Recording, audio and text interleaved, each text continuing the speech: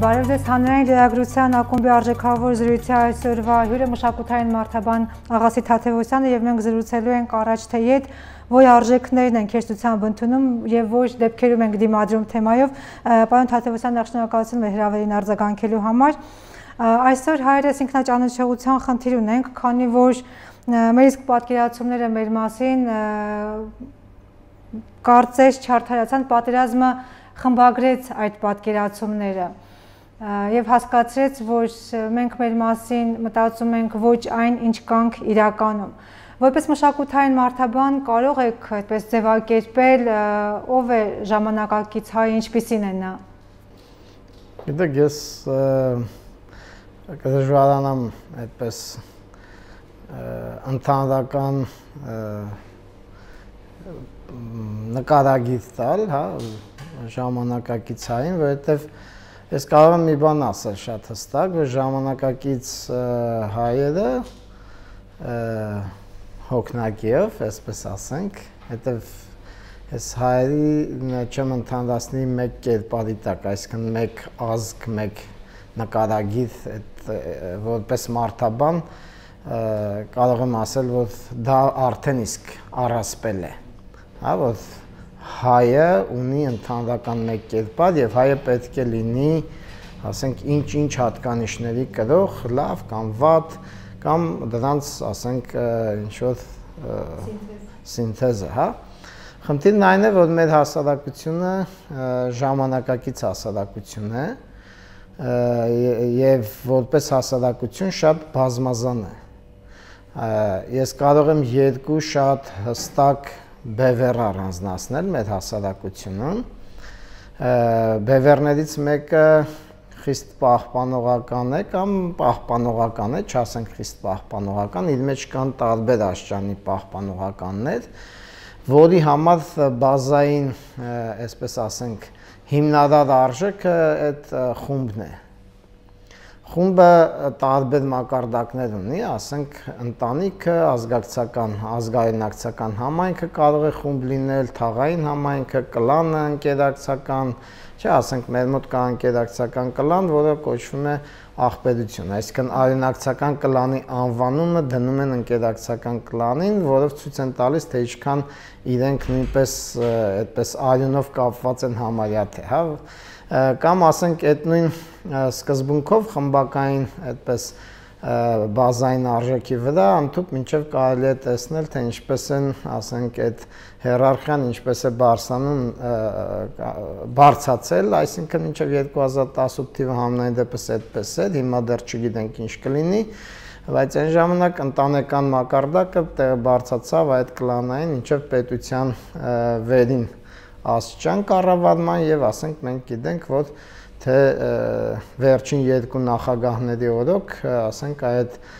40, չէ, 40 նշվում է 40-ից 45 ընտանիքների, ովքեր որ տիրապետում էին հիմնականում բոլոր process-ներին եւ վերահսկում էին բոլոր process-ները Հայաստանի, դա մի խումբ է, որի տակ այդ հիերարխիայի տակ մտնում էին ոչ միայն այդ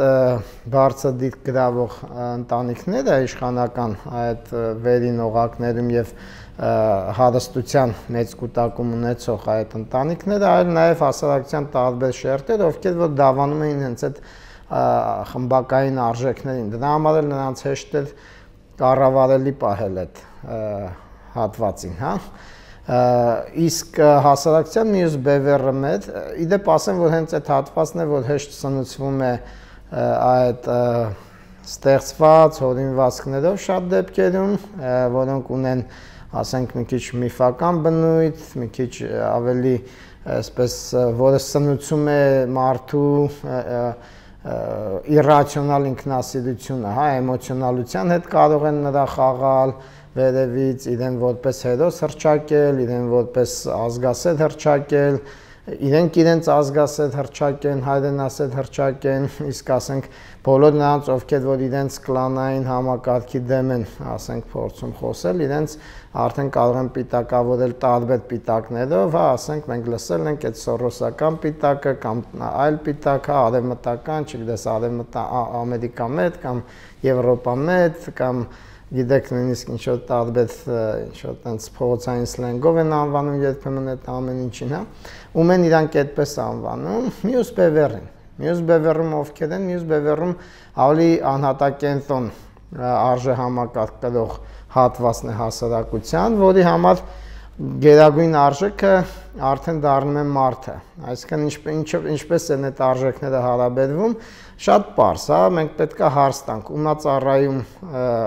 ընդհանրապես գերագույն արժեքը. խումբը ծառայում է արդյոք մարդուն, թե մարդն է ծառայում արդյոք խմբին, հա։ Եթե խումբն է ծառայում մարդուն, ապա այդ խմբի հիմնած պետությունը նույնպես ծառայում է մարդուն, հա։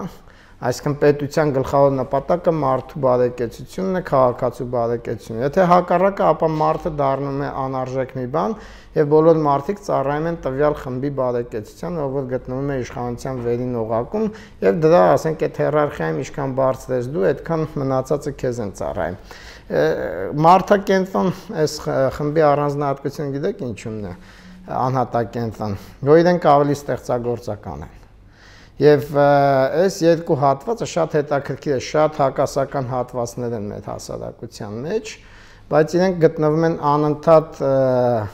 եւ բախումների մեջ եւ փոխանակումների մեջ։ Իմ համար շատ զարմանալի է, թե ինչպես են համատեղվում այս երկու շատ տարբեր հատվածները մեր հասարակության, ինչպես են իրենք համատեղ ու համակեցությունը կազմակերպում, դա իհարկե շատ հետաքրքիր է դիտարկել։ Կարող ենք ասել, որ ձեր նշած այդ երկու խմբերի կապում է կամ գուցե երկուսի նպատակների կիզակետում անկախ իրենց վարկային առանձնահատկություններից պետականություն ունենալու, պետականությունը չկորցնելու անհանգստությունն է, թե դա չի դիտարկվում Նայեք, այդ երկու խմբին շատ կարևոր բան եք ասում։ Իհարկե կապում է մի շատ ավելի մեծ արժեք, որը դա եւ նույն ազգի պատկանելությունն է, այսինքն հայ լինելն է եւ նույն պետության քաղաքացի լինելն է։ Այսինքն ոմանք քաղաքացին իհարկե մի ձև են պատկերացնում, ոմանք մի ձև, բայց ամեն դեպքում իրենք հայաստանցի հայկական պետականության, այսպես ասած, պահապան, նվիդյալ, հա, կամ զարգացմանը մտահոգ, ասենք այդ մտահոգությունն է, որ միավորում է մարդկանց, հա, այսինքն ամեն դեպքում դա ազգային բաղադրիչն է, բայց հետաքրքիրն է, որ իրենցից ամեն մեկը ազգայինը մի ձև է պատկերացնում եւ այդպես է այդտեղ է որ կոնֆլիկտ է առաջանում, հա։ Նրանք նրան են ասում դու բան չես, հայերեն ասել չես ու դու ազգային չես, ապազգային ես, նրանք էլ նրան նրան են ասում, թե դու բան ես, ինչ որ կեղծ հայերեն ասել ես, քո հայրենասիրությունը սխալ է, մանավանդ հիմա պատերազմից հետո գնում են այդ նաև չէ այդ բան կա, այդպեսի պատկերա տարածված կարծիք կա, որ պատերազմը քանդեց միֆերը, չէ՞ Հիմա հարց է, իսկ ո՞ր միֆերն է քանդել պատերազմը, եթե այդպես ընդհանրական ենք խոսում։ Ես չէի ուզի, որ մենք մեր մասին ունեցած արժանապատիվ կարծիքը համարեինք միֆ եւ ասեինք, որ պատերազմը նաեւ դա կոտրեց, որ իբր թե ասենք թե օրինակ հայերը բան են պայքարող ազգ են, ստեղծագործ ազգ են կամ մենք կարող ենք ուժեղ լինել, հիմա մի տեսակ հակառակ բանն է գնում, որը որ ես համարում եմ էլի մի տեսակ էլի իրացիոնալ, այս անգամ արդեն ավելի թերագնահատող։ Եթե հա, եթե առաջ մենք մեզ գերագնահատում էինք, համարում էինք, չէ, ասենք տարածաշրջանի ամենաուժեղ բանակ ունեցող եւ այլ եւ այլ, sense բաներ ենք խոսում։ Հիմա էլ մենք մեզ արդեն, գիտեք, երբ նայում եք, շատ վատ բաներ են մեր այսօր հասարակության մեջ խորանում, ասենք օրինակ թշնամու նկատմամբ վախը, թշնամու հզորության մասին առասպելա ձևավորվում։ Դա շատ վատ բան է։ Այսինքն պետք չի մտածել, որ եթե մի անգամ դու պարտվել ես, այդքան հզոր է քո թշնամին, հա։ Ամբողջ խնդիրը նրանում է, որ դու պարզապես 20 տարի շարունակ քնած ես եղել Եթե քնած չլինի, դու չէիր պարտվի։ Եթե դու շատ տենց օբյեկտիվ գնահատես իրավիճակը, հա, որպես հասարակություն, դու կհասկանաս ինչա պետք անել։ այլ ոչ թե ինքդ քեզ ինչ որ մեկ դրական գերագնահատող բան տաս, մեկ թերագնահատող։ Դա է վատը։ Գուցե անհրաժեշտ է, որպեսզի կարողանանք հասկանալ, թե որտեղ ենք սայթակել, որտեղ ենք սխալվել, նաև հասկանանք, թե վերջո ինչ ենք ուզում եւ գուցե այդ գաղափարի շուրջ փորձենք հասկանալ, եթե ուզում ենք այսինչ բանը, կարող ինչպես կարող ենք հասնել դրան։ Կա ձևակերպված, թե մենք ինչ ենք ուզում, հանուն ինչ ենք պայքարում։ Գիտեք, այսօր ասի երկու տեսակի բևեր կա, ասես լայն առումով հասարակության մեջ, որ մեկը խմբակենտրոն արժե համակարգի կրող, մյուսը անհատակենտրոն։ Իրենց դա նաև գլխավոր բանավեճը, գիտեք ինչումն է խմբակենտրոն արժեհամակարգ կրող հատվածը ավելի շատ ազգային ազգայինը եւ ազգայինի պահպանումը տեսնում է գոյատևման մեջ, այսինքն པարս պահպանման, ինչպես կա, այդպես պահպանենք, որովհետև իրենք ասում են, որ եթե քո ազգայինի մեջ ինչ որ բան փոխվում է, դա վտանգում է քո ազգային նկարագիրը, հա, եւ այդպես խիստ պահպանողական ասում են, որ պետք է պահպան։ Շատ հետաքրքիր, ես վերջերս Գյումրիում մի այդպես հետազոտական հարցազրույցներ ենք անցկացնում խորացված եւ այնտեղ մի շատ հետաքրքիր կարծիք հնչեց, բայց ես հիմա չետո այդ մասին խոսեմ։ Երկրորդ բևերը, որ անհատակենտրոն բևերը, ինքը պետության եւ ազգայինի ապագան տեսնում է պահպանումը, ասենք, տեսնում է զարգացման մեջ, այսինքն պահպանել զարգացման միջոցով։ Ինչա զարգացումը, զարգացումը դա դու պետք է անդադ մերժես ինչ որ մի բան քո արդեն ունեցածից, որպեսզի կարողանաս այն փոխել, որովհետև առանց մերժելու դու չես կարող այն փոխել, չէ՞։ Այսինքն մարդը նույնպես, չէ՞, եթե դու չմերժես քո որոշ բնավորության հատկանիշներ, ես պատկերավոր եմ ասում չմերժես, հա, չհրաժարվես քո որոշ հատկանիշներից, դու չես կարող զարգացնել քո մեջ նոր հատկանիշներ, չէ՞։ Հիմա նույնպես էլ հասարակությունն է, ինքը պետքա կարողանա ինքնաճանաչողական process ապրի։ Ինքնաճանաչողական այս գործընթացի մեջ կարողանա շատ ռացիոնալ կերպով գնահատի, թե ինչն է իր մեջ արգելակում զարգացումը եւ ինչ պետք է ինքը փոխի, որպեսզի զարգանա որպես հասարակություն, որպես պետություն, որպես ազգ, հա։ Հիմա ինչ ինչումն է այդ Գյումրիի խոսակցությունը, հա, բանասասներից մեկը, նա ասում է, որ Բառացիորեն ասում է, որ զարգացումը մեր համար շատ վտանգավոր է։ Ավելի լավ է մենք չզարգանանք, բայց պահպանենք մեր ազգային նկարագիրը եւ մեր ազգայինը պահպանենք։ Այսինքն տեսեք այդ ու հետաքրքիր է նաև այդ ձև մտածող, ասենք, հատվածը, գիտեք ոնց են իրենք մտածում, ասենք, այս վերջերս նաև շատ հետաքրքիր մի քննարկում ես արեցի ուսանողների հետ, տղաներից մեկը շատ հետաքրքիր մի բան ասաց, ինքը ըստ էության այդ խմբակենտրոն արժի համակարգի կրողներից է, շատ հետաքրքիր մտածող տղա է, բայց մի քիչ ասենք պահպանողական է բավականին առայժմ ինչ ասեց ասում է իմ կարծիքով ամեն մի բան կյանքում ունի մի ճիշտ մի ճիշտ ձև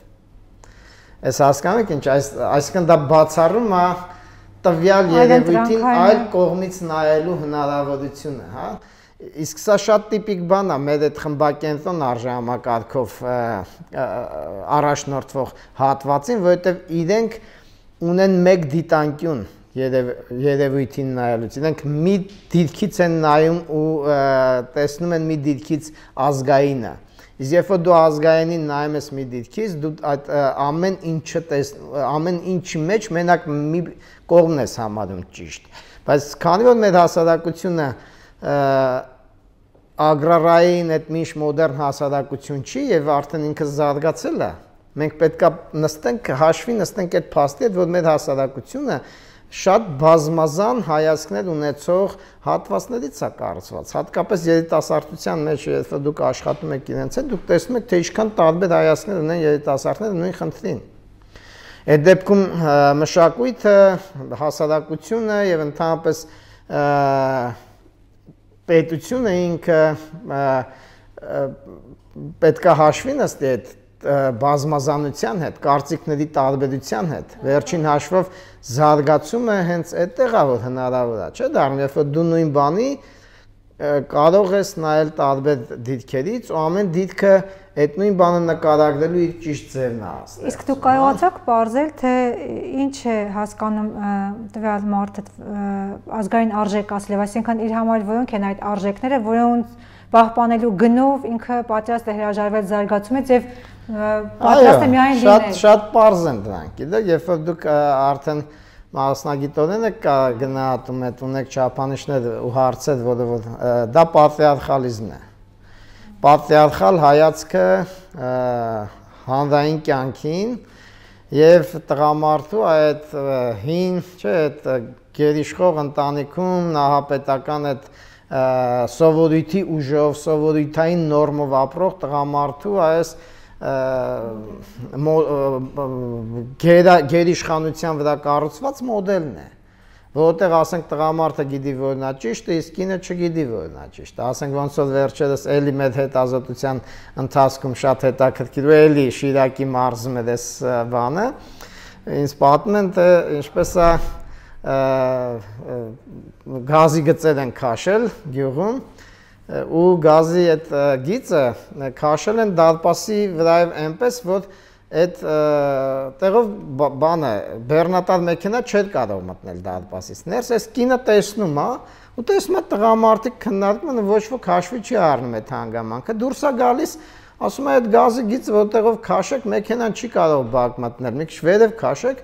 այդ բանը տղամարդկանցից մեկը շուրա գալիս, այդ կնոջ ամուսնուն ասում է, հələ գնա մի հատ դրան բերնին մի հատ տուր ասում է, ինքնով է որ վերա դուրս է եկել տղամարդկանց խոսակցության նախարարում։ Այսինքն, ես գիտեք ինչ է, ես այդ շատ տիպիկ նկարագիր է այդ պատրիարխալ ասենք բանի արժե համակարգով առաջնորդվող խմբակենտրոն, հա, ասենք միջավայրի, որտեղ որ, որ կինը չի կարող մասնակցի ճիշտ բաների քննարկմանը, ճիշտը մենակ տղամարդը գիտի, եթե նույնիսկ այդ ճիշտը սխալ է, հասկանում եք, այսքան տղա ակնհայտով են իրանց իմացած ճիշտը, իրանց արա ճիշտը սխալ է, հա։ Հիմա ինչ եմ ես ասում, մենք ունենք թյուր պատկերացում, որ ազգայինը դա միայն անցյալում ստեղծված, նաև այդ անցյալինը պետքա շատ sense փայփայելով պահպանել։ Այսինքն չմասնակցենք մենք ինքներս պատկերացում։ Դա վախ վախկոտությունից է գալիս։ Որովհետև համարցակ ազգերը համարցակորեն փոխում են իրենց մշակույթը առաջ գնալու համար, բայց քանի որ իրենք են իրենց մշակույթը փոխում, իրենք նաև ստեղծում են իրենց մշակույթը եւ ամեն մերժված հին հինը ու ամեն ստեղծված նորը ազգայինի կերտման այդ process-ն է մենք այդ չենք կարողանում հասկանալ եւ մենք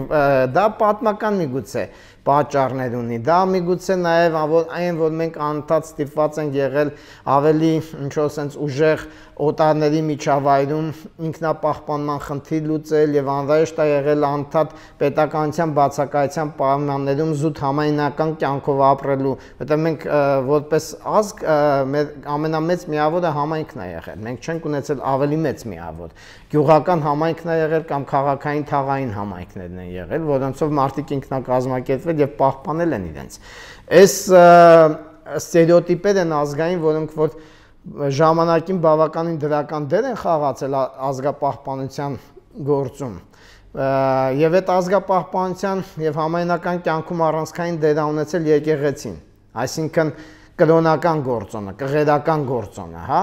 կղերական էլիտաներն են նաև կարևոր դեր կատարել, ոչ թե բուրժուական էլիտաները, որոնք որ սովորաբար, ասենք ժամանակակից ազգերին բուրժուական էլիտաներն են, չէ՞, այդ ազգակ կերտող դերը վեսել իրանց վրա։ Մեր մոտ գղերական էլիտաներն են։ Գղերական էլիտաները ինչ են։ Ունեն նաև իշխանական խնդիր։ Եվ այդտեղ արդեն երբ որ ազգը ինքը պետականության արդեն փուլ է մտնում, այստեղ խնդրեմ է առաջանում։ Խնդրեմը դառնում է իշխանական, բայց իշխանական այն տեսանկյունից, որ ոչ միայն պարզապես կառավարելու տեսանկյունից, այլ ճշմարտությունները փոխելու, ճշմարտությունները կերտելու տեսանկյունից, որովհետև խորքային առումով իշխանությունը դա այն մարդիկ ունեն, ովքեր որ հաստատում են, թե որ նա ճիշտ է տվյալ հանրույթի համար, ճիշտ ձևերը ապրելու, հա? Այդտեղ է որ մենք հիմա գտնվում ենք հենց այդ բախման մեջ։ Երկու տարբեր մեթոդաբա տեսա մեթոդաբանական մոտեցումներ։ Ես ես մի քիչ բարդ եմ միգուցե խոսում, բայց սրանք ճշմարտության կերտման ճշմարտության արտադրման, այսպես ասենք, մեթոդաբանական տարբերություններ են, որոնք որ կան մեր ազգի մեջ։ Կարող ենք ասել, որ ճշմարտությունը հրճակելու այդ փորձերը, այդ մեթոդները ստեյության ձախողվել են, քանի որ անընդհատ մենք այդ նույն ինքնապահպանման փուլում ենք։ Եվ այսօր էլ 21-րդ դարում 2021 թվականն է, այսօր դարձյալ լինել չլինելու դիլեմայի առաջ ենք։ Նայեք, մենք հիմա շատ հետաքրքիր վերափոխման ժամանակաշրջանում ենք գտնվում որպես ազգ, եւ ինձ թվում է, որ մենք հենց այս պատերազմից հետո այս թվացial քաոտիկ այս վիճակը, որ կա, եւ հասարակության ներսում բախումնային բևեռացված վիճակա, չէ՞ մենք նո բևեռացվածություն թվացial չի, քաոտիկությունն է թվացial։ Բևեռացվածությունը շատ հստակ է։ Եվ parze թե ովքեր են բևեռները, հա, եւ այդ բևեռացվածությունն ենք տեսնում ենք նաեւ ազգային ժողովում, թե ինչպես է այդ բևեռները ինչպես են պայքարում իրար հետ վերջին հաշվով ումնա լինելու իշխանությունը։ Բայց եթե մենք այդ մակերեսից փորձենք մի պահ մեզ վերացարկել, որպեսզի այդ վերևից կարողանանք, կողքից կարողանանք դիտարկել process-ը, այլ ոչ թե ներսից, մենք կարող ենք նաև տեսնել, որ այստեղ նոր դասակարգի ձևավորման կամ դասակարգ չասենք, նոր խավի ձևավորման process է գնում, որը որ եթե process-ը այսպես շարունակվեց, ապա մենք կունենանք այդ պահպանողական խմբակային արժեքներ կրող նախկին օլիգարխիկ խավի տրանսֆորմացիան դեպի բուրժուական Իսկ բուրժուազիան ինքը հենց այդ դեմոկրատիայի ամենամեծ շահագիրգիրուժն է։ Որովհետև դեմոկրատիան ձևավորվել է այն ժամանակ, երբ որ ձևավորվեց կապիտալիզմը։ Որովհետև դեմոկրատիան դա այն կառավարման համակարգն է, որը որ անհրաժեշտ է բարդ խնդիրներ, բարդ տնտեսական խնդիրներ լուծելու համար։ Իսկ կապիտալիզմն է, որ կապիտալիստներն են, որ դնում են բարդ տնտեսական խնդիրներ։ Օլիգարխի դրած խնդիրը ինչ է, շատ པարզ է։ Ինքը տեսեք նախքին բուրգը ոնց է դա աշխատում դու գնում ես ձգտում ես պաշտոնի ու դու գիտես որ այդ պաշտոնին նստեցի այստեղ նստեցի ամսական այսքան է քո փողը հա աշխատավարձը չէ քո կաշառք հա կոռուպցիայով եկող փողը ու դու գիտես ինչքանը պահում ես քեզ ինչքանը տալիս ես վերև ու ամեն նախադությունն է իր գանձապա ստվերային գանձապա ով որ այդ ասենք փողերը հավաքում է, տալիս է վերև, վերջում այդ փողերը գնում հասնում են ընդհանուր մինչև երկրի նախագահ կամ վարչապետ, չէ, ասենք տարբեր բաներ խողովակներ կան եւ այդ մարդիկ հարստանում էին, հա, ասենք այսինքն իրենք առանձնապես շահագրգռվածություն չունեն կառավարումը բարթացնելու ընդհակառակը իրենք պետք է շատ པարզ կառավարման համակարգ ունենան, որ այդ կոռուպցիոն բուդն է։ Դրա համար նախքին կառավարման համակարգին ինտեգրված մի շարք այսպես կոչված տնտեսագետներ, ես կասեի շատ վայ տնտեսագետներ, հա, փորձում էին համոզել հասարակությանը, որ կոռուպցիան, եթե հանենք, պետությունը կփլվի, որովհետև դա հենց մեզ օգնում է, որ մենք կարողանանք կառավարելի պահել մեր տնտեսությունը։ Ես ներողություն եմ խնդրում ընդհատելու համար, նաև հավատացնում են, որ այդ բոլոր այդպես սև փողերը գնում են երկրի պաշտպանության Այո, մենք տեսանք, թե երկրի պաշտպանության գնացած սև փողերը ինչպիսի հզոր տեխնոլոգիական բանակ են, չէ՞, կառուցել, որը ընդամենը մի քանի օրում ջախջախվեց Ադրբեջանի, ասենք, հատվածների ներքո, չէ՞։ Ասենք, եթե հավատանք այդ տեղեկատվությանը, արդեն 4-րդ օրը մենք բանակի ինչ որ տեխնիկայի կեսը, տանկերի ինչ որ մի մասը կեսից ավելի միգուցե ասենք ջախջախված է եղել, չէ՞։ Այդ այդ հենց այդ օլիգարխիկ համակարգի ստեղծած բանակը ջախջախվեց չէ այդ խափեությունը ջախջախվեց այսինքն այդ կեղծ իրականություն որ իբր թե իրենք այդ փողեր են դնում բանակի մեջ եւ այնպես են անում, որ բյուջեն չերևա, որ միջազգային, այսպես ասած, կառույցների աշկից հեռումն է։ Բայց ինչպես է Ադրբեջանը միջազգային կառույցների աշկի առաջ միլիարդավոր դոլարների զենք գնում Իսրայելից, Ռուսաստանից եւ մյուսներից եւ որևէ մեկը իրեն բան չէր ասում։ Իսկ դուք պետքա թաքցնեիք, չէ՞։ Տեսեք, այստեղ կեղծիկը իհայտ գալիս։ Ես դրա համար եմ ասում, դրա համար դեմոկրատիային իրենք դեմ են Եվ տեսեք նույնիսկ միֆ են տարածում հիմա, որ այդ ժողովրդավարությունն է, որ մեզ պարտության բերեց, որ եթե այդ 18 թվի հեղափոխությունը չլիներ, մենք պարտություն չէինք ունենալու, հա? Իհարկե դա կեղծիք է էլի, հերթական կեղծիքն է, չէ՞, որովհետև իրենք փորձում են, տեսեք, պահել նախքին համակարգը, որը որ իր առաջ չի ուզում դնել բարդ խնդիրներ եւ որը որ կաշկանդելու է ինչպես կաշկանդել է նախկինում տնտեսության զարգացումը ասացեք խնդրեմ այդ դեպքում եթե այդպես վեհ գաղափարներ եւ այլն չեն կարողանում դնել ամեն դեպքում ինքնապահպանական ինքնապաշտպանական բնազդը չի կարող առաջնորդել գոնե այդ դեպքում արժեքների վերանայման առումով։ Նայեք, արժեքները շատ ինտենսիվ ձևով հիմա վերանայվում են, շատ ինտենսիվ։ Եվ ես կարծում եմ, որ այդ վերանայման process-ը դրական է, այն իմաստով, որ ես տեսնում եմ հասարակության մեջ նոր ուժեր, տնտեսական ուժեր, ովքեր որ տեխնոլոգիական ոլորտում ինչ որ թրիշկաձև զարգացում են ապրում։ Մենք Հայաստանում կամ հայ տղաների երիտասարդ տարիքի շատ եւ բավականին դինամիկ մտածողություն ունեցող, զարգացման միտված մտածողություն ունեցող երիտասարդների կողմից ունենք ձևավորած մի միտում, որը վերաբերվում է բարձր տեխնոլոգիաների ոլորտում վերջին, ասենք, զարգացումներին, հայկական ստարտափերի, չէ՞։ Մենք նախկինում չէինք լսում այսպես անուններ, որոնք որ կամ 1 միլիարդ դոլարանոց արդեն բանը նշաձողն են հատել կամ ձգտում են դա հատելու, մենք այսօր լսում ենք, որ բավականին sense ինտենսիվ զարգացող ուժեր կան, չէ՞ այդ տիպի։ Հիմա ինչ են իրանք բերում, իրենք փոխում են արժեքները ըստ էության։ Իրենք փոխում են նաև երիտասարդների մեջ հարստանալու, հարստություն ստեղծելու նոր մոտեցում են ձևավորում, որը հենվում է արդեն ոչ թե գողանալու արժեքի վրա, այլ հենվում է ստեղծելու արժեքի վրա, ինչը շատ բազային փոփոխություն է լինելու մեր հասարակության մեջ, որովհետև շատ կներեք նախքին էլիտաները իրենք հենվում էին գողանալը արժեք դարձնելու վրա։ Դրա համար մենք ընդཐུպ մինչև երկրի նախագահի մասին լսում ենք, թե իբր նա ինչ որ sense կրիմինալ աշխարհի վերնախավի հետ է շփվում, չէ, ինչ որ այդպես կապեր կան եւ ընդհանրապես իրենք ում հետ էին համագործակցում քաղաքական process-ների ժամանակ այն նույն ասենք հիերարխիայի այն ամենացածր աշճանը, որ իջնում էր մինչև թաղային մակարդակ, ում համար գողանալը արժեք էր ում ովքեր համարում էին գողացողին բաշարող ու շնորհքով տղա, չէ՞։ Հիմա այս նոր էլիտան, որը որ ձևավորվում է ըստ էության, ինքը գողանալ արժեք չի համարում, ինքը ստեղծելն է արժեք համարում։ Մենք տեսնում ենք, որ գնալով ես ասենք օրինակ այդ ոլորտում որոշ դիտարկումներ ունեմ արած, այսպես ասած ժողովրդական լեզվով ասած այդ քյարթու երիտասարդները սկսում են սովորել հիմա ծրագրավորման ինչ որ մի լեզու, ու դուք տեսնում եք, որ մարդիկ արդեն էլ փոխում են իրենց հայացքը կյանքին։ Հա, սա շատ-շատ կարևոր process է, որը որ մենք այս բանի իր մեջ ենք, թվում է թե ինքը այդպես էլ սովորական մի բան է, հա։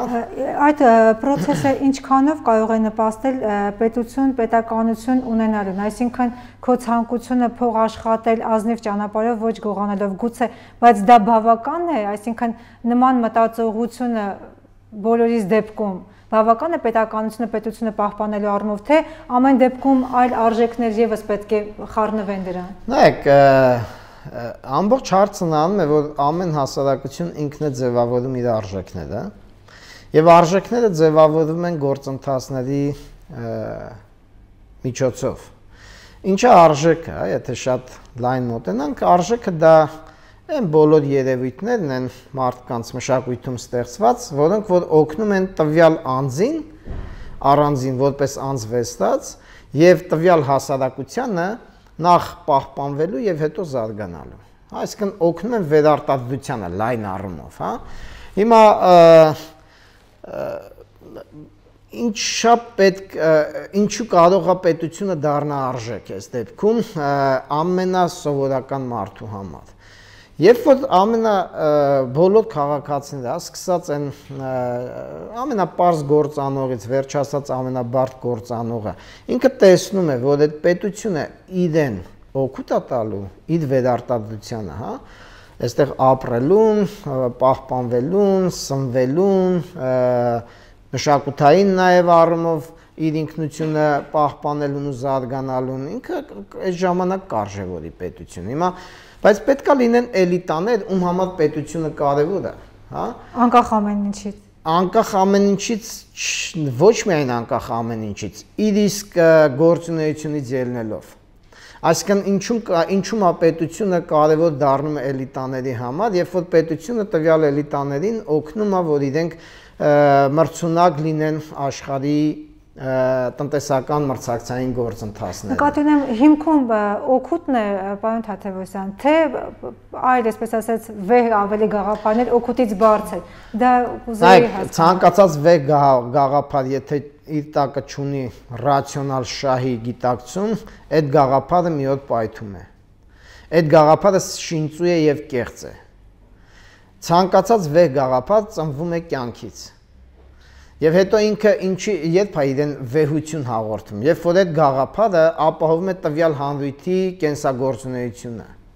պետությունը ինչու ունի այդ այնց վեհության բան, չէ՞, որովհետեւ պետությունը ապահովում է տվյալ հանդույթի կենսագործունեությունը։ Այն հանդույթը, որը որ չի ունենում պետություն, ինքը վտանգվում է ընդհանրապես։ Դրա համար մարդիկ դրան շատ մեծ արժեքի կարևորություն են տվել եւ ասենք պետությունը դա հաստատուն արժեք է, ոչ թե փոփոխական արժեք։ Պետության ձևը կարող է փոփոխական արժեք լինել, հա, ասենք միապետական պետությունը, ժողովրդավարական, դա կայունի բան չի հա նույն ձև ընտանիքը ընտանիքը հաստատուն արժեք ընտանիքի ձևը կարող է փոփոխական լինի մի ժամանակ դու գերդաստանով ես ապրում հիմա երկսերունդ ընտանիքով կգա ժամանակ միասերունդ ընտանիքով հարցը այդ չի հարցն է որ ընտանիքը կայուն մնա այդ կնում որովհետև դա արդեն դեմոգրաֆիկ աճ ապահովող չէ ասենք ու մարդուն երջանկություն ապարգևող մի օղակ է չէ ինստիտուտ է հա այնպես որ ցանկացած վե արժեք, եթե հիմքում չունի կյանքում չի հիմնված մարդկանց կյանքը ավելի լավը դարձնելուն այդ վե արժեքը ինչ որ մի պահի պայթելու է, հա? Չի կարող հայրենիքը այտենց պարզապես վե արժեք համարվել։ Որտեղից է գալիս հայրենիքի արժևորումը։ Եթե դուք Միշնադարյան աղբյուրներին ծանոթանաք, ժամանակին հայրենիքը անվանել են պարզապես N տիրույթին սեփականությանը, որը պատկանել է տվյալ, ասենք, փոքր կամ մեծ իշխանին, հա? Այսինքն դա հորից ժառանգված սեփականությունն է։ Հետո ընդհարցակվել է։ Հետո իրենք իրենց իշխանության տակ գտնվող մարդկանց համոզել են, որ այդ պետքա իրանց էլ է պետք պահպանել այդ հայրենիքը, հա, իրանց իշխանության տակ գտնվող ժամանակին, ասենք, ճորտներ են եղել կամ ասենք շինականներ են եղել, կապ չունի ով է եղել իրանց իշխանության տակ։ Այդտեղից ձևավորվել է այդ, բայց իրենք նաև չեն խափել, որովհետև այդ մարտիկ ապրել են այդ հողի հաշվին։ Այդ հողը սեփականությունը բոլորին սնել է։ Դրա համար իշխանի իշխանության տակ գտնվող բոլոր մարտիկ շահագրգիռ են եղել այդ հայրենիքի պաշտպանությանը։ Այդտեղ հետո ձևավորվել է ստերեոտիպը, արժեքը։ Հիմա մենք ունենք այդ հայրենիքի մասին մեր պատկերացումը, մեր գաղափարը, որ բավականին վեհ է ու լավ է որ վեհ է։ Բայց այդ հայրենիքը երբ է դառնում ավելի իրական արժեք բոլորի համար եւ երբ որ մարդիկ չեն գնում այդ հայրենիքից իսկ երբ չեն գնում մարդիկ այդ հայրենիքից երբ որ այդ հայրենիքում ինքը ապրելու ու բարեկեցության իրավունք է ստանում ու հնարավորություն հա այսինքն պետությունը հայրենիքը պահպանելու կարևորագույն ինստիտուտ է դառնում այս դեպքում եւ այդ բայց ու պետության գլխավոր խնդիրը դառնում այն որ ինքը պետք է ապահովի իր քաղաքացու մնալը հողի վրա որտեվ առանց հողի վրա ապրող քաղաքացու այսինքն առանց դեմոգրաֆիայի այդ պետությունն էլ այդ հայրենիքն էլ դառնում է արդեն վտանգված մի բան Այն, ինչ դուք նկարագրեցիք, երբ պետությունը մարդուն տալիս է հնարավորություն իր երկրում ապրելու, զարգանալու, այս պահին մեր պետությունը կարծես թե այդ հնարավորությունը չի տալիս քաղաքացիներին, որտեղ տեսնում ենք, որ յուրաքանչյուրը ֆիզիկապես անգամ իրեն անվտանգ չի զգում իր հայրենիքում։ Այս դեպքում ինչ եք կարծում ինչ գործ գործողություններ կամ ինչ արժեքային փոփոխություններ պետք է տեղի ունենան, որպեսզի մարդիկ անգամ այս դեպքում փորձեն զանց առնել, այսինքն չակնկալել պետությունից այն ապահովությունը, որ ենթադրաբար պիտի պետությունը տա եւ փորձեն իրենք տալ պետության մի բան, որպեսզի կարողանան գոնե այդ ձևով չկորցնել պետականությունը։ Ես շատ կարճ կպատասխանեմ այս հարցին։ Պետք է տեր կանգնել պետությանը եւ պետության տիրությունը գործառույթը տեր լինելու մենաշնորը վեսնել են նրանցից, ովքեր որ մինչև հիմա իրենք էին տեր հրճակել իրանց պետության եւ մեն իշխանորեն օգտվում էին այն բոլոր ռեսուրսներից, որը որ պետությունը ուներ։ Այսինքն դրա ճանապարհը քաղաքացի դառնալն է։ Այսինքն մարդ պետքա քաղաքացիական գիտակցություն իր մեջ ձևավորի, որը հենված է իրավունքի ու պատասխանատվության հավասարակշռության վրա։ Տեսեք, ասենք մարդիկ ուզում են լավ ապրեն, բայց մեքենայից ինչքան է հանդիպել, չէ՞, տեսնում եք ինչ որ մեկը ծխում ծխախոտակցում, նույնիսկ ասենք աղբակցում, փողոցում, բաժա ասենք դու ո՞նց կարող ես էլ ակնկալել, որ դու կունենաս լավ պետություն։ Դու փչացնում ես քո պետությունը քո մեքենայի պատուհանից։ Գնացեք հուշարձաններ Տեսեք, այդ ինչ շատ կներեք խոզանոց է դարձել։ Այդքան հայրենասեր ազգ ենք մեզ համարում, այդքան եկեղեցասեր ազգ ենք մեզ համարում, գնում ենք եկեղեցիների կողքը, հաց ենք ուտում, թափ թփում ենք, կեղտոտում ենք եւ այդպես կեղտոտած թողած գնում ենք։ Բա իր հուշարձանը, իր մշակութային ժառանգությունը սիրող մարդը կկեղտոտի այդ հուշարձանը։ Հարցա, չէ՞ առաջանում։ Մենք այս այս կեղծիքը պետք է հաղթահարենք մեր մեջ։ Մենք մեր հայրենիքի հանդեպ սերը պետք է իրական դարձնենք։ Այսինքն ոչ թե վերացական օթի մեջ խոսալով պետքա խոսենք մենք հայրեն սիրենք մեր հայրենիքը, այլ ամենօրյա գործողությամբ։ Իսկ ամենօրյա գործողություն դա պատասխանատվության զգացում է, եւ ամեն մարդ երբ որ իր ամեն քայլը պատասխանատու լինի իր հայրենիքի հանդեպ, հա, իր քայլով չկեղտոտի, չգողանա, չթափթփի,